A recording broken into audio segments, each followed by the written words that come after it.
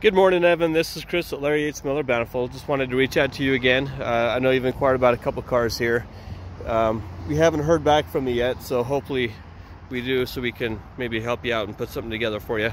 But um, here's the Subaru that you just inquired about. The vehicle is here. It is available. It's actually a really nice car. Um, our mechanics have gone through it and inspected it to make sure it's a good vehicle, make sure it doesn't need anything. So if you'd like to uh, come out here and take a look at it, love to show it to you and uh, go from there. Have a great day.